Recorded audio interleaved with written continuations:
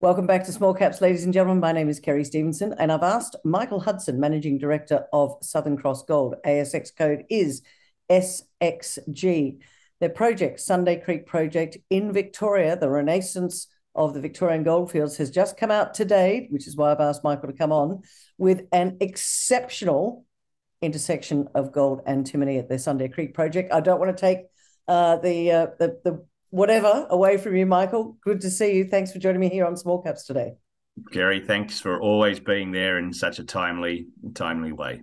Well, it is timely today. Just before we get into it, brief overview. Sunday Creek Project. Where is it? How big is it? What are you doing right now? And then we'll get into today's announcement. Yeah, Sunday Creek is a gold antimony project in the Victorian goldfields. I think I can hand on heart say it's the best discovery outside the current mines in Victoria, of which we have two of the highest grade uh, top 10 gold mines in the world. So it's in a, a, great jurisdiction. We've been exploring it for two years now. We put the first drill rig there two years ago. We put about 15 kilometres into it, and uh, it, it, it, continues to deliver. And we'll get into some of the results. Uh, we drilled out over a kilometre down to 400 metres. The system's growing, multiple shoots, and it's open for 10 kilometres over a larger system with old mines that haven't seen any drill holes. So, so a lot to do. A lot to do. I just want to pick up on what you just said. Old mines uh, have been there before, and because it's only about an hour north of Melbourne, from what I understand, are there any issues with getting back into the mining around that area? Uh, it's a really good question. Uh, when I first saw the project on a map, I thought, no, that's uh, that that that looks close, but but you've really, like any project, got to get into the detail of what it means. Uh, it it straddles uh, partly the tenement, the Hume Highway, which is of course the major uh, road through through eastern Australia here, and on the western side of the highway. It's cottage farms and and people who commute uh, an hour into town, so it would be very difficult. On the eastern side, and we're sort of five kilometres, 10 kilometres to the east, it's traditional farming and state forests, which um, which are used for hunting and motorbike riding and the like. So it's um it's actually okay. We have bought the freehold land. Uh, we bought 320 acres of the freehold just to ensure access. Um, we, we're, we're the best landholder for ourselves, and it just gives us a whole lot of flexibility going forward. But um, but uh, of course, Victoria is pretty close in in many respects compared to Western Australia to lots of communities. So you've got to work with communities, and um, and and that's what we're doing. And you know, so far so good. I think it's important to note that 320 acres, that's yours, that's freehold that and is some of what you're looking at because uh, I want to go through Golden Dyke, Rising Sun, and Apollo. Are they all within that 320 acres that you own freehold?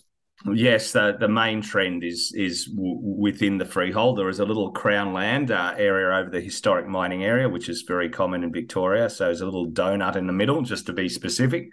But um, yeah, absolutely, we're we're we're we surround it all. Fantastic. I just wanted to clarify that before we get into today's announcement, which is that you've drilled some of the highest grade intersections, gold antimony. Um, talk to me about, or talk to us about today's announcement and why it's so significant for Southern Cross Gold. Yeah, it's a real teaser bringing it in uh, three or four minutes into the interview. So, so what we've gone and done is is uh, taken a big step out. So we've taken a 350 meter step out from where we've traditionally been drilling over the last six months. We've been drilling at the Apollo shoot, the Apollo area, and that's delivered fantastic grades and widths, you know, and and seen Southern Cross on a on a real roller coaster of um, doing so well out the gate from the IPO for, um, in in May June. So we're 350 meters away at a new pro, pro, prospect area called Rising Sun. Mm. So key point, big step out and it's another shoot developing. It's the single best, highest grade intersection we have on the on the prospect to date, which is uh, it was 21 and a half meters at 15 grams. So there's the there's the money shot. Included 2.1 meters at uh, 121.6. I just had to look up at the press release to make sure I got that number correctly. That's gold equivalent, but it's predominantly gold that uh, drives those uber high grades. So so a, a fantastic result in a new shoot and literally that we've just uh, put four, four or five intersections down to 250 meters, and, and this is a jewelry box, um, literally in in that shoot. No wonder you've got a smile on your dial. This is an old mine, though, isn't it, uh, Rising Sun? But they only drilled to quite shallow. Is that right? And what you're doing is you're going deeper, and you're saying the deeper we go, the more interesting it gets. That that's right. At the the well, it's it's interesting uh, from surface. There's a the very high grade drill hole at surface in the in in in the middle of the deposit, uh, the deposit, the the the shoot, which is 46, and even it's open. It's uh, there's a whole big step out we took six months ago, and and that's 21 and a half meters at something like five plus grams gold equivalent. Also, that's the deepest hole. So we're drilling under that now, and and those results are pending. So more results are coming. Has this, because you've got Golden Dyke, which is the most prolific area that you've been drilling to date, Rising Suns come along. Has it surprised you with these results today? Because they are pretty significant. You know, I always say that hope is not a strategy in exploration, but it's a good it's a good part of it. So of course, we're we're surprised on on the upside here, um, without a doubt. Um, when the core came out, and you know, it was was literally, as I say, like a shotgun had shot um, this this little fine gold all through the core. So so um, we knew it was something special when we saw it, and of course, you can never be sure until you get the assay results. But but that being said, we we know from historic uh, workings that the old timers mined up to hundreds and hundreds of grams. So we've really been waiting to to see those, and that's what drove the old mines. And and Rising Sun was only an it wasn't a historic mine, but down to forty five meters, so it's it was hardly a significant mine. So it's a little sad that you know those toiling away in the 1800s left such great things beneath their feet. But uh, but it's low hanging fruit for us and and and to our benefit. Uh, are you still doing? Uh, is your focus now on Rising Sun with these results today, or are the rigs also still going on Apollo and uh, Golden Dyke? We now uh, the strategy has changed somewhat. So um, three or four months ago, we were focused on Apollo and demonstrating continuity around you know the, the big hit there, which was 119 meters at at uh, 3.9 grams gold equivalent. Um, now we've moved on to drilling over the 700 meters of strike. So we've got some holes coming from Apollo area where we actually have six shoots there already and one defined in detail. Um, we're drilling in different orientations across those shoots because uh, structurally hosted gold is is is as it is as it states it's structurally hosted, which means it can be lots of different structures, and that's what you see it at Fosterville, for example, and and Costerfield. It's not just one set of structures that are mineralized, so you've got to drill in different orientations to understand all those variations. So that's what we're doing at Apollo, but we've stepped out. We're drilling at Rising Sun when we're putting some of the first holes that haven't been released yet, um, that are pending uh, under Golden Dyke. And and remembering Golden Dyke um, that we've spoken about before, at least here, was the most productive mine. Was over 200 meter strike, so it was a, quite a restricted little area. But it went down to 180 meters, which was a very big effort in the day.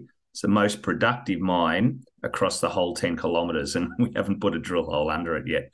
Um, and and that seems a bit crazy, but it was because it was deeper, it was easier to go under the shallower mines first. And actually, most of the discoveries we've been making on the field were not the old mining areas. Um, we found oh. things that were un, unmined and untouched. So that's that's interesting. Now, you've mentioned a couple of things. I want to go into Fosterfield, uh, Fosterville, and Costerfield. Um, is is this got is Sunday Creek project? Is it along the same sort of geological structure? Like, why is it so prolific for gold where you are? And you are not that far away, I don't think, from Costerfield and Fosterville. In geological terms, we're next door. In geographic terms, we're close, but it's still 50 kilometers. So we're not um, butting, but it's the same gold event. So it's okay. the same fluids that manifested themselves at both Fosterville, costa Costerfield, Sunday Creek. There's nine historic fields. in Victoria that were this style of gold, a very different style to what made Victoria famous. It's not the Ballarat Bendigos nuggety style of gold. That's a different geological event. That's okay. that's that's something that that um, we're not looking for. So we've got three of the nine historic epizonal fields, uh, which include Fosterville, Costerfield, three of ours, Sunday Creek, and Redcastle, and then and then there's only another four more that uh, were mined historically. Now I'm sure there's a lot more to find undercover, etc. Um, but but you, you, take the low hanging fruit, and the the old timers were the best explorers, um, and they've they've defined things very well for us. And it, and it's technologies like lidar. Uh, yes that we've um, bombarded uh, laser beams out of uh, out of the aircraft like you do with your iPhone, but at much bigger scale. And we've been able to see through the thick vegetation and where the old timers worked. And you can see everything everything in such detail. It's such a dramatic change for us. We can see not only pits and shafts and and dumps, but you can see where air blowing. You see where they are placer mining, like little like little pimples down the uh, the old creeks, and you can't literally see them if you're standing on them. But at the scale of the lidar, it works beautifully. So that's how you're able to target so effectively. Because that was one of my questions. It seems to me that Southern Cross Gold, what you're doing, you, see, you just seem to be you either got very lucky or technology's helping you. Uh, do you know what I mean? It, it, seems to be very effective at the moment. So is that the LiDAR technology? The LiDAR is for the regional exploration more so. So you'll see that come to play when we start stepping out into the uh, the more regional areas. I, I, I, would credit the success that we're having at the moment um, to to a number of factors. One is orientated drill core. So we're really, for the first time ever, um, putting orientated drill core into these systems, and and they are structurally. What does controlled. that mean? What does that mean? Sorry, orientated drill core. You mean that you're going in a different orientation from yeah that, it's, it's it's obvious to me but it sounds stupid when you ask that when you are when i talk and you've asked a very obvious question orientated drill core basically means that we can orientate the drill core in the ground so we take a cylinder of rock but we don't know where that literally sits in in space because it could be 360 degrees if you like. But we orientate that drill core. We know where the base of the drill core is. So then we know exactly how that when we pull it out of the ground how that core sits in the ground. So then we can measure the, the structures within that drill core accurately as they are reflected underground and that means we've got a gold bearing structure here. We know it trends in a northwest orientation, for example, because we measured it. And then we can go to the northwest and hit it again and hit it again. So, so orientated drill core is is not a, a, new technology per se. We, you know, when I started my career 30 years ago, we used to just throw spears, literally just um, metal rods with a little pointy tip down the hole and hoped it hit the bottom of the core and that would give us the orientation. Now it's all done electronically with signals and and units at the top of the the drill barrel and and and and and so and the accuracy is is very good and we can do it every run now. So what used to be every 40 or 50 meters and the drillers hated doing it now we get every 3 or 4 meters. So we can literally put all the drill core together if it's not too broken up in its true orientation. So that's a lesson on structural geology. Well i always love having a uh, as i say to everybody so long as you learn something new every day, you're you're going forward. Um, I'm talking to you at the beginning of October. Um, where can this project go? What's the next steps? What can shareholders or people listening right now expect going forward? So just to take a breather here, we we we've hit some very good drill holes. People thought we are one hole wonder. We put multiple drill holes and showing continuity. Today's uh, release shows that we're not just a one shoot wonder we're a multiple uh, shoot uh, we're developing multiple shoots. So the system is just growing very nicely at grades that you don't really see. Um, so our job today is to make this bigger. We're not working to drill it out um, in fine detail. We're working to drill it out for understanding as we've talked about but we need to make this bigger. So we're going to be drilling out golden dyke Rising Sun, there's there's five out of the six shoots at Apollo that we haven't tested. So now you're thinking, my goodness, there's a, a, a seven or eight hundred meters of strike down to four hundred meters at least that they've got to drill out. They're going to do a lot of drilling, and, and yes, we do. So we need more drill rigs, and then of course we've got the ten kilometers of that lidar, um, those workings that we've identified from the lidar. We've done lots of soils out there, and we know there's some big uh, anomalies and, and old workings out there. So, so the only limitation is drilling, uh, and the only limitation I think is getting the strategy right or wrong um, yeah. about how we, you know, we we don't want to be bulls in a china shop, but we don't want to focus too quickly. So at least this year, we're going to be working with. We're going to try and find more rigs. You know, the results are spectacular um, and and warrant more drilling uh, to make this bigger. You you may see us at some point start to take a, a big step out and and look down towards a kilometre depth um, in some parts of the system. Not drill it out, but take some bigger step outs just to demonstrate to ourselves and the market that the system continues at depth. And these epizonal systems at least at Fosterville and Costerfield, below 800 metres, became those true Cinderella zones where they became uber high grade. The antimony dropped off, and and we'd like to see whether that zoning happens in our project also. Could be quite exciting. Why is the antimony? Uh, because that's often mentioned, uh, certainly in your in your announcements as well. Why is that important?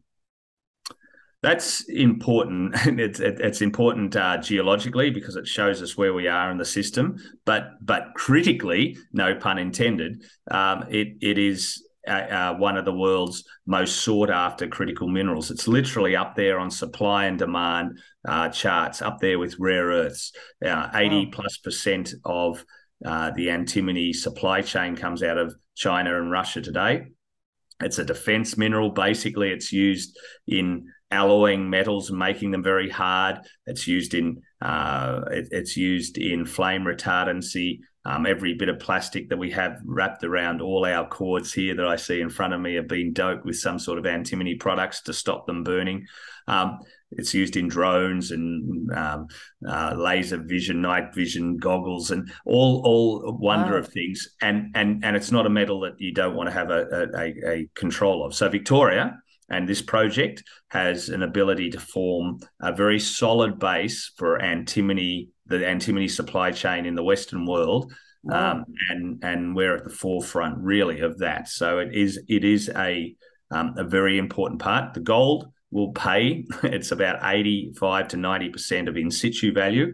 The antimony is is the potential byproduct, but a very important one. Does it make it more difficult when it? And look, I know processing is way, way, way down the track. But when you've got gold antimony mixed together, does it make it harder in the end run with the process? Uh, it, it's actually not like um, a rare earth, and everyone sort of is educated enough to know that rare earths is not about finding them; it's about processing them, and that's where the risk lies. Antimony is actually a pretty standard um, metal, so so we we we'll take what looks like free gold from this deposit, gravity separate, and the rest of the gold, will, about half of it, will be gravity separated. About half will report with the antimony into a into a concentrate. Today, as part of that supply chain, that uh, those, those uh, concentrates are, are, treated in in China. So there there needs to be a Western world uh, opportunity here. the Omanis built one, and then the Chinese uh, bought all the supply uh, to to to that uh, smelter. So that's sitting there without consistent supply. That's where Victoria can play its role. Uh, Michael, I know you've got a massively busy day ahead of you. Uh, I want to finish up now because I want people to understand. Give us three reasons. Uh, you know what I'm like. I like to end th- this way. Three reasons why you think our beautiful audience out there should be sitting up and taking notice of Southern Cross Gold right now, especially after today's announcement.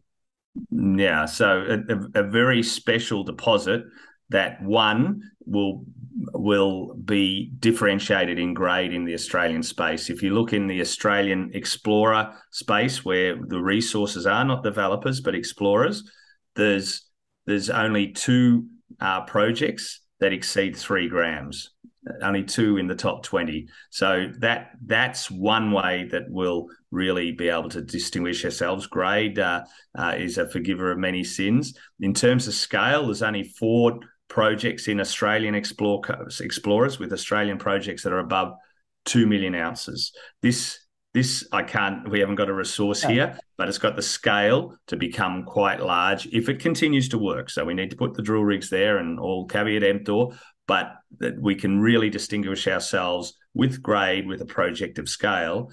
And and then I think you touched on it before. Um, you know, we are having wonderful success, and that that's a, a, function of a very good deposit, but also people who know what they're doing and how to find gold. People that know what they're doing and how to find gold, and boy, are they finding it, ladies and gentlemen. The ASX code, as I said before, is SXG. Southern Cross Gold, latest announcement out today uh, as I said before, the highest grade intersection of gold and antimony at their Sunday Creek project. Michael Hudson, Managing Director, thanks so much for joining me on Small Caps today. Kerry, you're wonderful. Lovely to be back with you. Now, take care.